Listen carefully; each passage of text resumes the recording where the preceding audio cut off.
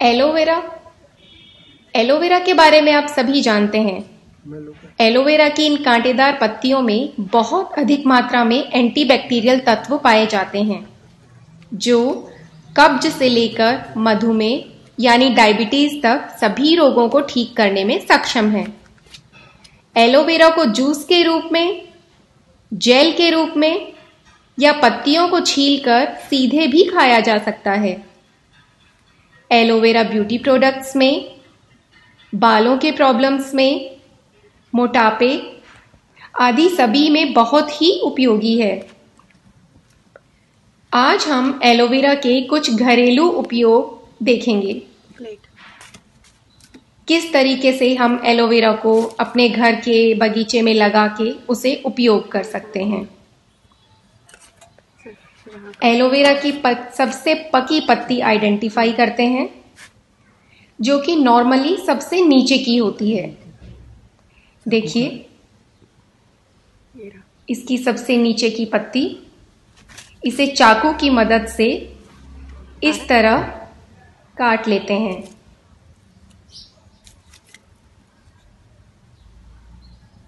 देखिए ये हम एलोवेरा का जेल देख पा रहे हैं।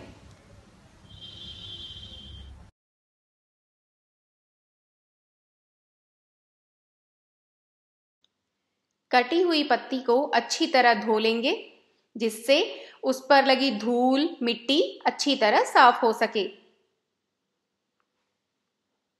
आप धूप में, धूल मिट्टी में जाते हैं, स्किन खराब हो जाती है।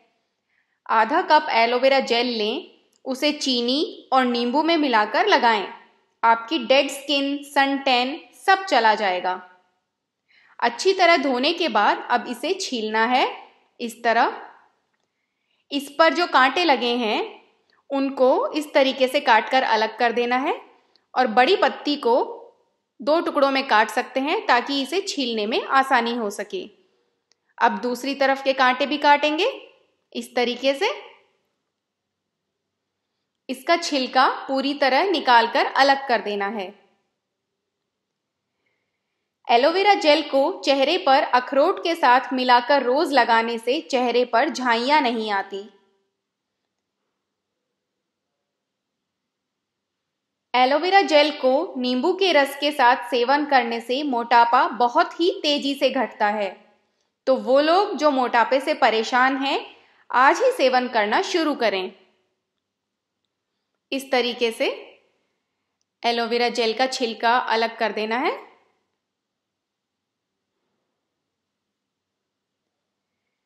एलोवेरा जेल को हल्दी, शहद गुलाब जल और दूध में मिलाकर लगाने से स्किन बहुत सॉफ्ट हो जाती है।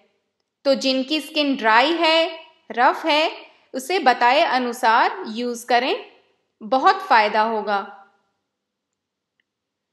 जिन लोगों की स्किन सेंसिटिव है, वो एलोवेरा जेल में खीरे का रस, थोड़ा योगर्ट और रोज ऑयल मिलाकर अच्छी तरह मैश कर लें। फिर उसे चेहरे पर अच्छी तरह अप्लाई करें और 20 मिनट तक छोड़ दें। 20 मिनट बाद अपने चेहरे को गुनगुने पानी से धो लें।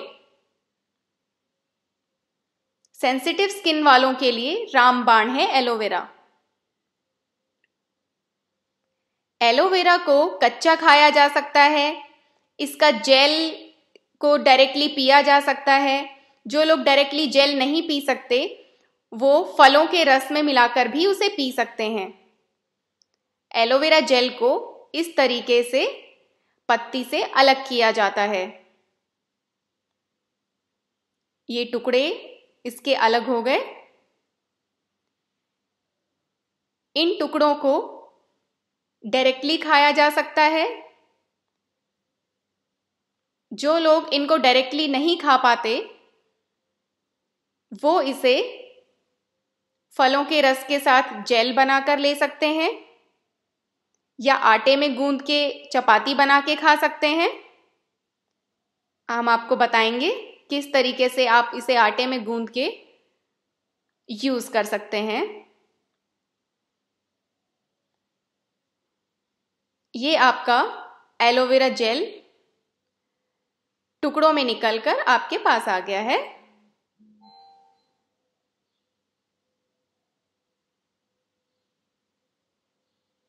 इसे हम पानी से अच्छी तरह से धो लेंगे।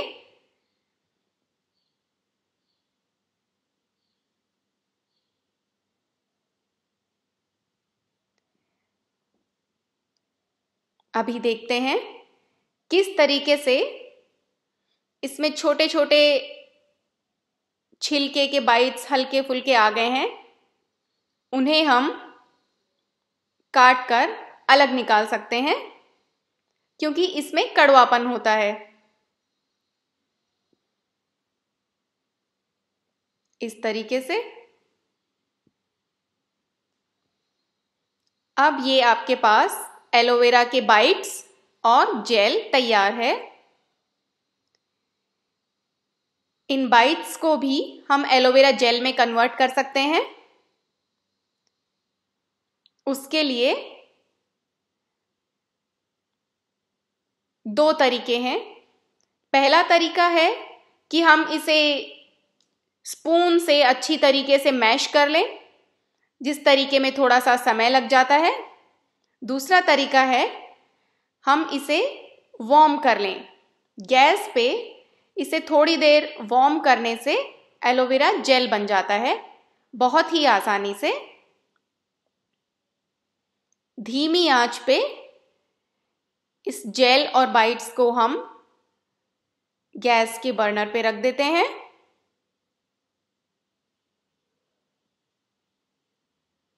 और इसे आधे से एक मिनट छोड़ देते हैं। इसे स्पून की सहायता से धीरे धीरे बीच बीच में चलाया जा सकता है, ताकि ये जल्दी ही जेल बन जाए।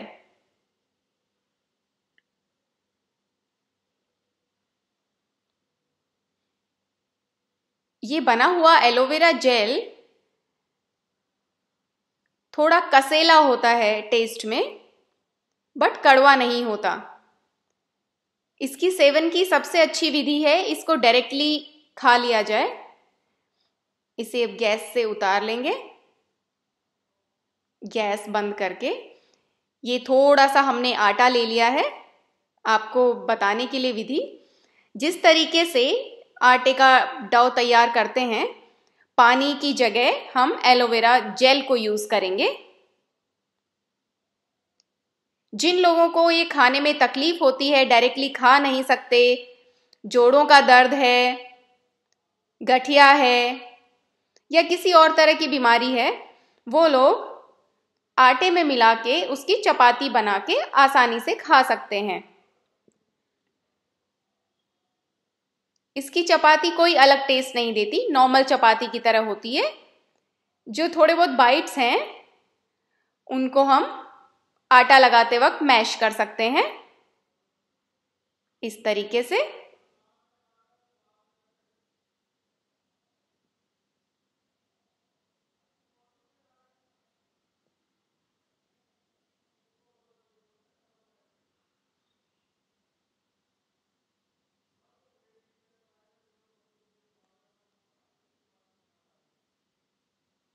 जोड़ों के दर्द वाले या जो लोग बूढ़े हैं सीनियर सिटीजन्स इस तरीके से उसको खा सकते हैं। अगर डायरेक्टली खाने में टेस्ट अच्छा नहीं लगता, ये हमारा आटा तैयार हो गया। अब आप इसकी चपाती बना के नॉर्मल आटे की तरह इसे यूज़ कर सकते हैं।